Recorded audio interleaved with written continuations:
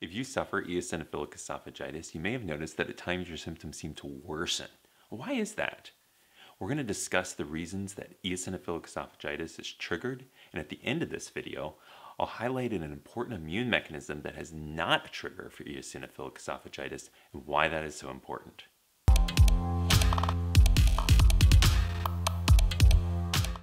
Eosinophilic esophagitis is an autoimmune condition of the esophagus in which eosinophils attack the esophageal lining. Eosinophilia can occur in other parts of the GI tract, but its symptoms are most dramatic in the esophagus because at its worst, it can cause a food impaction. We discuss what eosinophilic esophagitis is in a separate video that's linked below. Food is the main driver of eosinophilic esophagitis, and we know that actually removing culprit foods from your diet can relieve eosinophilic esophagitis. And that's the basis for what's called an elimination diet, which we discuss in more detail in a separate video. The major foods, though, are dairy, eggs, as well as soy and wheat, also nuts and seafood. And we'll discuss in that separate video how to prioritize that and make it work best for you.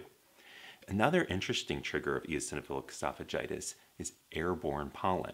People have noted that their symptoms can be worse when their seasonal allergies are worse. There's even been a case report of a person who, once their seasonal allergies were controlled, all their eosinophils disappeared. Now, whether that's because these airborne pollens are actually coming directly into the esophagus, or it's through postnasal drip, or it's more of a systemic reaction that's also manifesting in the esophagus, not entirely known. But it does beg the question if you have eosinophilic esophagitis, should you go out and get a skin test and perhaps even get immunotherapy to direct against those pollen allergies?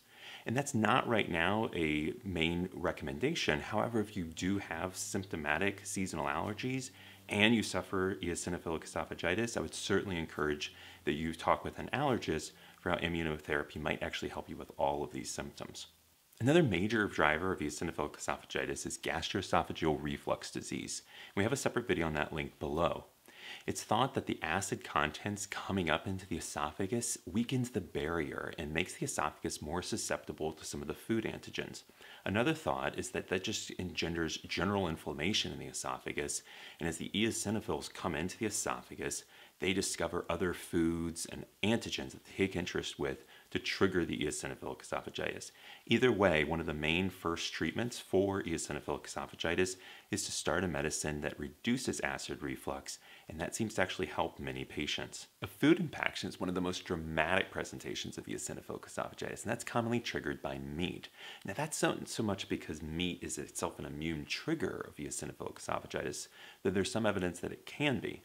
More commonly, that's simply just because it can be gristly and tough and stringy, and it gets caught up in the esophagus. That's when we have to perform an endoscopy to actually enter into the esophagus and remove that stuck food. Lastly, what is not a trigger of eosinophilic esophagitis? Importantly, immunoglobulin E, IgE. IgE is what directs an anaphylactic reaction where your throat closes up and you can't breathe. That's what we typically think of with the feared peanut allergies. The most eosinophilic esophagitis related food allergies are not triggered through an IgE mechanism. That's very important to know because that means that these are not going to be the types of food allergies that cause those most feared complications of anaphylaxis.